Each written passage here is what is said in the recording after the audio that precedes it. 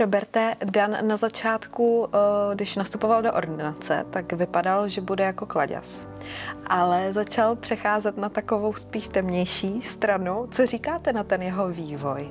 Tak já si myslím, že vždycky pro herce je výzva a zároveň zajímavý to, že eh, ta expozice eh, vypadá jinak, než potom ten, ten, ten vývoj ty samotné postavy, takže mě to dělalo vlastně, eh, co se týče té tý profesní stránky radost, protože je to vždycky ta práce zajímavá, než hrát neustále jeden charakter.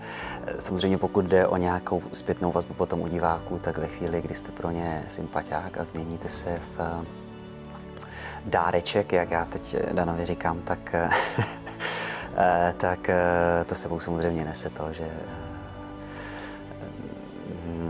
ne, že by mi neprodali eh, rohlík v krámě, to ne, ale pár takových jako poznámek na svoji adresu eh, už jsem si vyslech a myslím, že teda zcela zaslouženě, protože ten Dan, pokud eh, ho diváci neměli rádi nebo stal se jim nesympatický, tak právě v podzimní sezóně ještě přidáme. Je ale přesto něco, co byste třeba na Danovi vypíchnul, že se vám líbí nebo že máte společný? Já si opravdu myslím, že je to ta naše práce odvést jakoukoliv roli, tak nejlíp, jak zvládnem. A co se týče nějakých eh, povahových rysů s Danem, tak opravdu si myslím, nebo jsem o tom přesvědčen, že nemáme společného nic, protože on je opravdu, až bych řekl, na hraně. A myslím si, že to určitě eh, bude souviset s nějakou jako hraniční poruchou osobnosti, protože třeba to, jak se chová k ženám, to je něco absolutně nepřijatelného a něco, co eh, je samozřejmě osouzení hodné, takže ty potičky, které má třeba s Klárou.